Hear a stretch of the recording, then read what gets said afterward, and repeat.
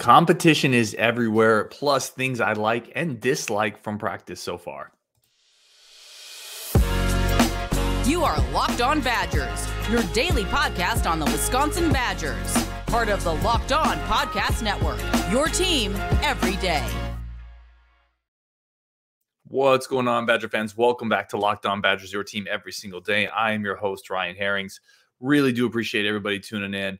Um, today's show is brought to you by LinkedIn. These days, every new potential hire can feel like a high stakes wager from your small business. That's why LinkedIn Jobs helps you find the right people for your team faster and for free. Post your job for free at linkedin.com slash locked on college. Terms and conditions do apply. All right, let's get right into it.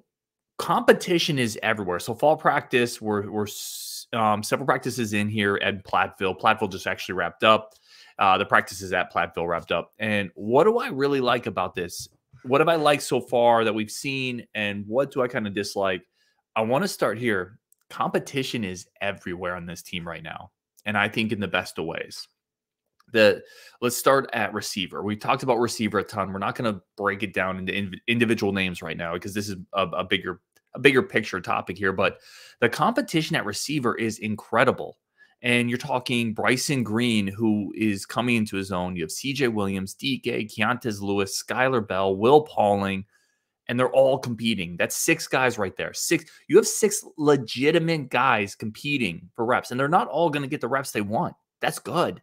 Like, not only does that that give you in injury insurance, right? You want to be self insured. You don't want to have to go out and find a um, a creative way to solve an injury reduced position, right? The Badgers are self insured at receiver right now, which is great.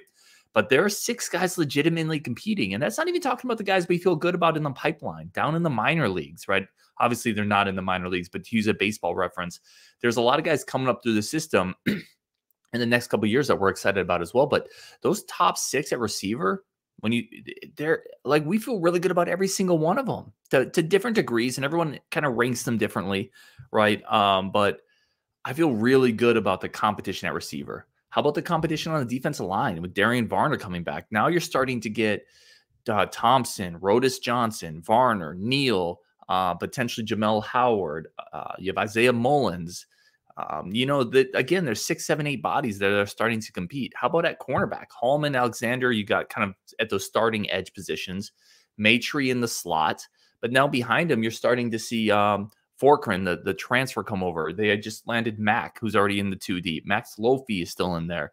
You're seeing already reports of Amari Snowden making some plays. Jace Arnold was in the two deep in the spring. Again, just competition everywhere and it's so good. And you see it in the one on one. So the, the Badgers coaching staff has put these one on ones up, and you can see film of it out there where defensive end competing against offensive tackle, just one on one competition, cornerback against receiver. And, you know, the, everyone's around them, and it's a lot of hype, it's a lot of excitement. And again, it just speaks to the competition everywhere. You're seeing it on the offensive line. A bunch of really highly recruited players, high pedigree players battling for that two deep, right? There's, there's, recruiting stars everywhere on that offense line. So that competition's going.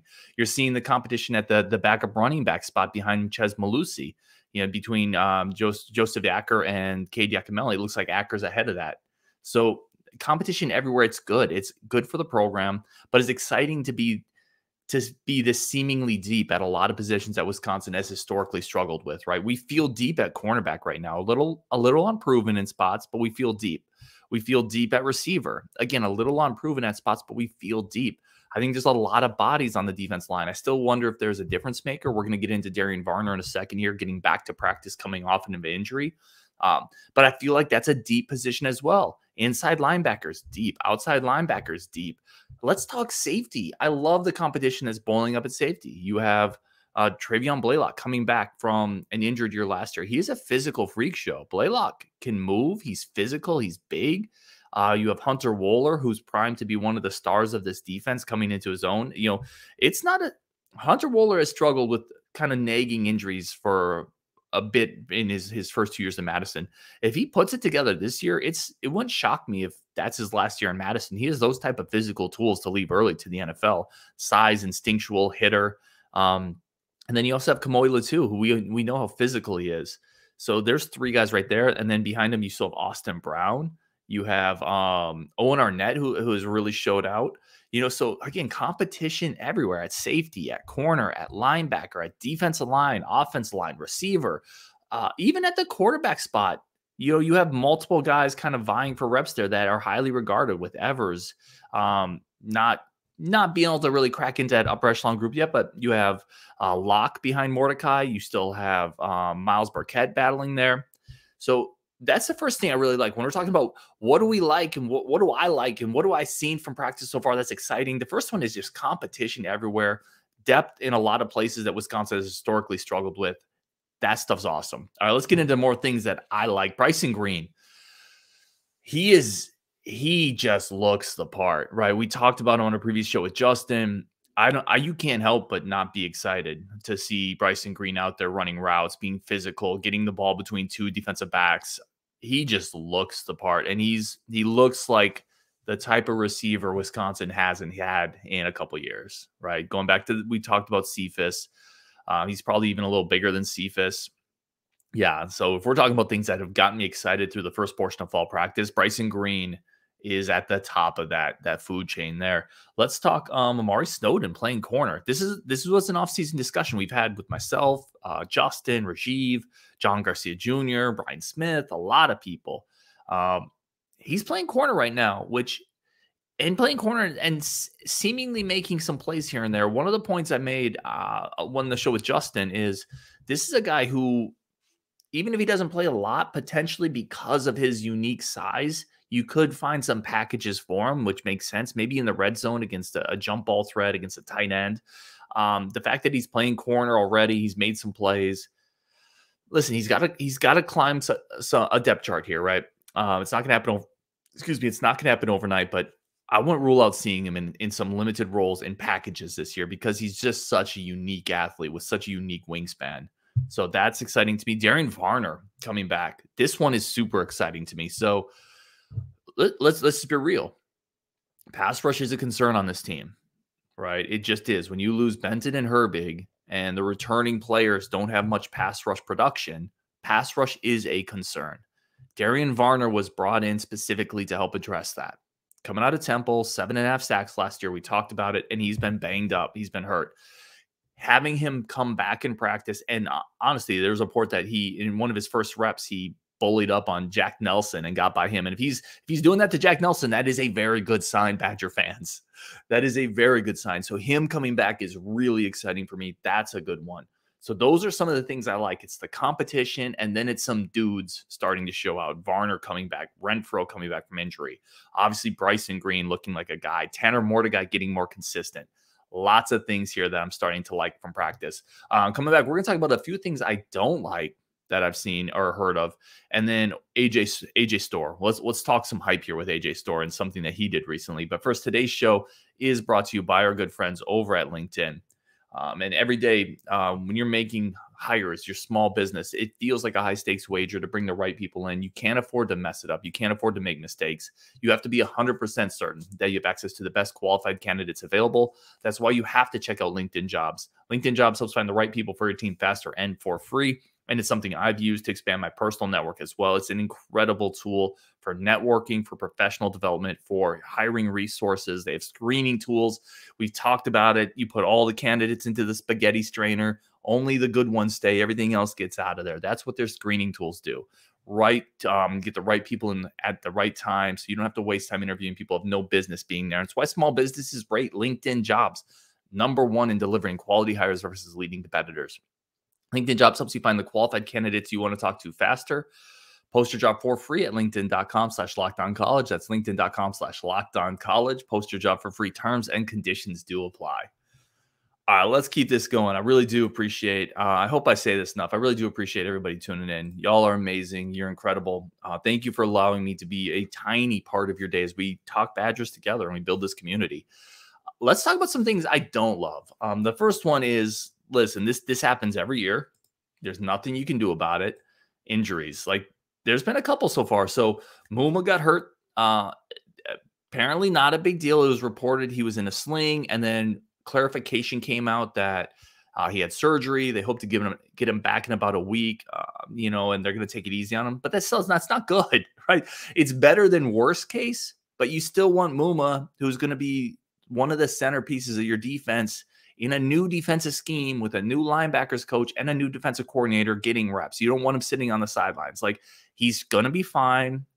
You know, you start with Buffalo. They said he's going to be fine, but still not great. Chez Mellusi got banged up. Um, had a big hit with Kamoi Latu. So that's not great. When you're talking about specifically what are the two or three positions on this team that scare you the most if there's an injury? I'll, I'll let you think about it for a second. One of them's running back, right? One of them is running back because you have Braelon and you have Chez, which we feel great about, both of whom have struggled with minor injuries over the entirety of their career, minor to serious injuries, quite frankly, in Chez's case. So you have two players who have struggled to stay healthy. The last thing you want to hear is any report of one of them getting dinged up in spring, um, even if it's minor, right? You, it makes you cringe a little bit because there's just not much behind those dudes. Um, the other spot that would terrify you is quarterback, right? If you're talking about positions the team cannot afford injuries to the, the key players at, it's running back and it's quarterback. And then I think there's depth everywhere else. I mean, you maybe you say tight end because of the the losses of Cundiff, Eschenbach, but I think they're fine there. I think you have enough receivers that even if you lost some tight ends, Longo would, would adapt. They'd be fine, right? But you lose Mordecai, it's terrifying because you just don't know what you have behind him. And you lose Braelon or Chez, and there's just not a lot of proven depth. So hearing Chez get banged up, that's a little worrisome. Uh, Darian Varner's been banged up. He's back. Renfrow's been banged up. He's back. But injuries are always painful. Hopefully Muma's coming back soon. Hopefully Chez isn't out for, for any noticeable time. Um, another one that's happened and has cropped up a little bit, it's worth talking about. There has been uh, quite a few quarterback interceptions, specifically from Locke. So listen, two things. I I definitely am not that worried about about Braedyn Locke. I want to start there. He's young. He's going to have turnovers. Uh, he's learning. Okay, I'm not that worried about him. Where I am potentially a little concerned, and it's what I just talked about. What if he's not really ready for this year? Right, and something happens to Tanner Mordecai.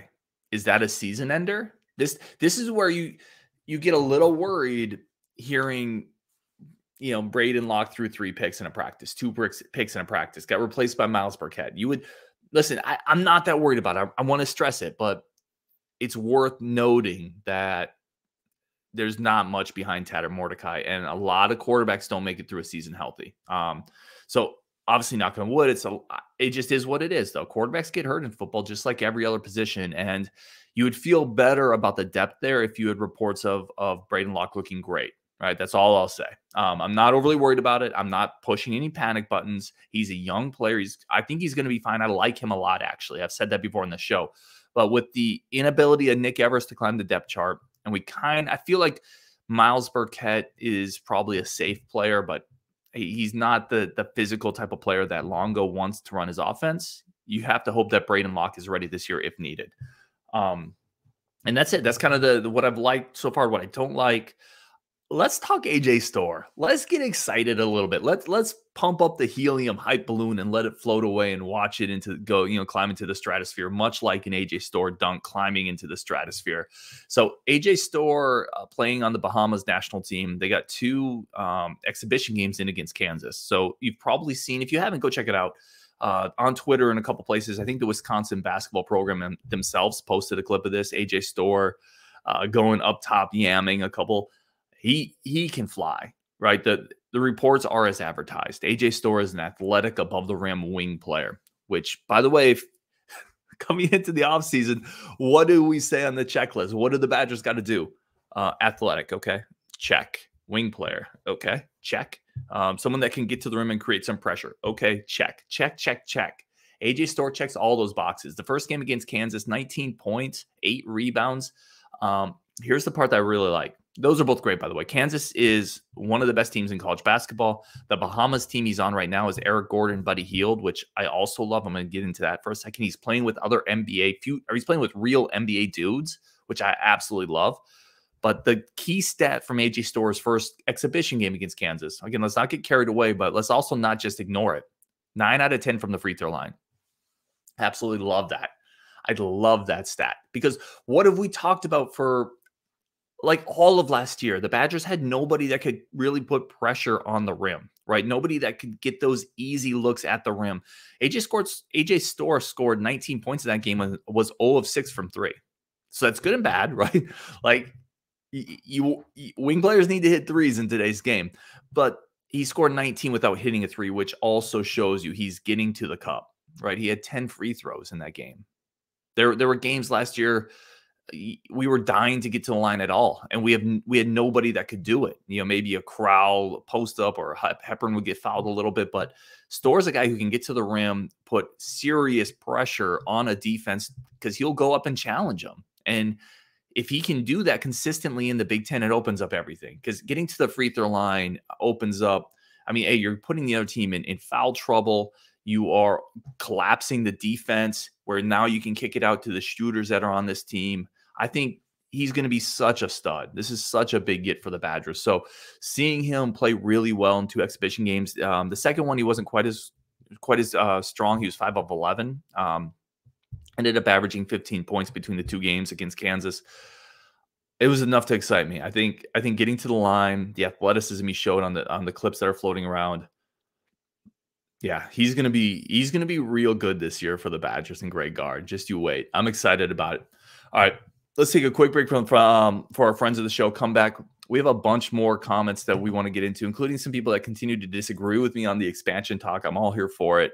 Um, so let, let's get into that next. Plus, why you don't got to be afraid of UCLA, Oregon, Washington. Like it's it's fine. We'll be fine. Let's talk about that next on Locked On Badgers. But first, a quick break from our friends of the show. What's going on, everybody? Thank you for coming back to Locked On Badgers. Really do appreciate it. Uh, let's just get some comments up here. This is from Matthew Berger. He said uh, you should do a new Big Ten tier list with the new programs that were added. We're going to do that. We're going to try to do a really cool thing where multiple people get together. We're going to grade each program in the Big Ten on history, upside, football, basketball, um, geographical, you know, recruiting base. We haven't narrowed down the criteria yet, but we are going to do that. And I'm excited to see because I'm going to get several different viewpoints in on this. So I'm excited to see kind of what this tier list looks like, not just Wisconsin viewpoints. So uh, I'm excited about that one. Let's go to this one. Um, this is from Ross Kinsler. Adding Oregon and Washington makes the Big Ten a coast to coast league. What else is a coast to coast league? The NFL, he says. This is a great recruiting tool. You can tell them you can play coast to coast just like you would in the NFL. I mean, I think anytime you raise the the um what am I thinking of? The excitement level, the hype. I'm I'm not thinking of the right word I'm trying to think of, but of a pro of a conference, it, it helps gonna help everybody in that conference recruit better. More money, more eyes, more viewership. Um, yeah, I, I would agree. And and going coast to coast, I would agree, Ross. It, it certainly is going to help the Big Ten recruit at an even higher level. This one is from Augustin Rocha. He says, anyone who's complaining, it's because they are scared of the teams that the Big Ten brought in. Stop it. Like this is this is where I have this is where I have to push back a little bit. When I talked about not being thrilled with Oregon and Washington coming in, it's because I wanted Notre Dame and Clem. Like I wanted not. I, I should be careful because uh, people push back and said you're underselling Oregon and Washington. Maybe I am. 100%. Those I did say those are really good programs. I have nothing against Oregon and Washington. Those are really good programs. Um uh, really really good programs, okay? I'm not scared of Oregon, Washington, or UCLA. I'm sorry. Uh, USC is going to potentially be a monster in the Big Ten, but I'm not scared of those teams. I don't. I don't. Nobody's scared of UCLA. Let's start there. No. No Big Ten. I've, I haven't talked to anybody in the Big Ten that's like, oh my gosh, the Bruins are coming in. Uh, we we had our shot. Now now the mighty Bruins are coming into the conference. Nobody, nobody's scared of UCLA. Like Oregon's going to be really good in the Big Ten, but they're not in a tier with Ohio State and Michigan. Maybe eventually they can get there. They're not there now. I, I just don't. Uh, I've seen a lot of fans start to get really worried, and outside voices start to talk about how tough this is going to be for the rest of the Big Ten for this influx of Pac-12 schools. I think it's just USC that's going to be a bear for the Big Ten, and I think those other three schools coming in, they slot into a tier with Wisconsin and Iowa, which is a good tier. That's a good tier. I, I don't even think UCLA is in that tier. If we're being honest, if we're talking football. So no, no. Eh, nobody's scared of of the teams they brought in outside of USC, Augustine. Um, let's go here. This is an interesting comment. I'm curious where people are on this. This is from Kyler Kill. He said the Big Ten is far more competitive than the SEC. They have Georgia and Alabama, no one else, maybe LSU. Big Ten has eight schools that are all playoff caliber teams right now. I love the optimism, Kyler. I love it. The Big Ten does not have eight teams that are playoff caliber teams. Uh, you have, I mean, let's just go through them, right? Maybe I'm wrong. Um, tell me I'm wrong. Let, you have OSU, I would put Penn State in that tier potentially. I would say Michigan for sure. I am okay putting USC in that tier because I think they're going to get there. That's four. I, I mean, maybe if everything clicks right, Wisconsin this year, that's five. Who else are you putting in there if you think they have eight schools that are playoff caliber? It's not Iowa with that offense. It's not Michigan State. It's not Minnesota. um, it's it's not UCLA if you're even if you're counting Oregon and Washington and Wisconsin, I'm only at seven, and I don't think Washington or Wisconsin is in that tier yet. So I would disagree. I also think the SEC is more competitive top to bottom than than the Big Ten. I, I I've said that for a while. Outside of Vanderbilt, really every SEC team gives a crap about football, right? And they're adding Texas and Oklahoma. There's a lot of Big Ten teams programs that, if we're being honest, does Illinois really give a crap about football. I think they mostly do. Does Northwestern? Probably not. Does Rutgers? Nah. Does Maryland? Eh. Does right? Like you can just kind of go down this list of schools that don't care about football as much as SEC schools. Like Minnesota, I don't think the Minnesota fan base in that program cares as much as an Ole Miss or a, a Mississippi State or an Arkansas or a Tennessee. I just don't see it. I'm sorry, I don't see it. I think the SEC is still a better football conference. Uh, let's keep going here. This is from Dustin. Go go look at the most watched teams in college football last 20 years, with or without Chip Kelly. Oregon has been a consistent top 10. Uh, they moved the needle. That's a fair point. Dustin, hats off. That's a fair point. Oregon, Oregon is a great program. Um, yeah, that's a fair point. Let's go here. This is from Doug Robinson. He said, You've said Stanford and Cal have been bad football programs recently, but saying Stanford, who regularly brings home the Director's Cup, for best performance across all sports is a bad athletics program means this channel is bewildering, bewilderingly. I can't pronounce the word, but I know what it is. Bewilderingly ignorant. That's from Doug Robinson. First of all, um, I hate to just like, and this is no knock to anybody who follows all the the Olympic sports, all the non-football and basketball sports. I love a lot of those sports. I really love watching volleyball. I used to coach women's basketball. I love women's basketball. Uh, you know, I I like a lot of those sports. I hate to break it to you, like nobody cares about the Directors Cup in the in the in the scope of conference realignment, right? I'm not belittling any of these sports or these athletes, any of whom could kick my butt at any of those sports that they play. But we're talking about this in the sphere of conference realignment through the lens of conference realignment. Nobody cares about the Directors Cup. Nobody cares about the other sports Stanford wins. They don't they don't move the needle at all. Not even like not even a little a hiccup of a needle. Like the needle, it, it, it, it like it is what it is. I'm not even saying it's great or that that's the way it should be, but that's the way it is. So don't I'm so like I again I I just they those other things don't move the needle, and that's why. By the way, the proof is in the pudding. Why is Stanford still sitting out there if the Directors Cup is so important? Why is Cal still sitting out there? They have other sports as well. Like if if those things are so important, then why are those two schools who are located in fertile recruiting areas and have incredible academic resumes and gorgeous campuses and big alumni bases, why are those two sitting on the bench while the Big Ten went and scooped out Washington and Oregon? Why? What's the answer? It's because their athletic program does isn't good enough, and their athletic program not being good enough boils down to football and basketball, and it's ninety five percent football. So it is what it is. I'm not saying it's right or wrong or good or bad. It just is what it is. Anyway, thank you so much for tuning in. I had a lot of fun today. We got a bunch of contents coming up. Uh, we'll do we have more positional previews, another a couple more coach interviews. I'm hoping to get a couple more recruits on that I'm working on. A bunch coming up this week. So hope that you guys stick with us on Wisconsin and let's talk tomorrow.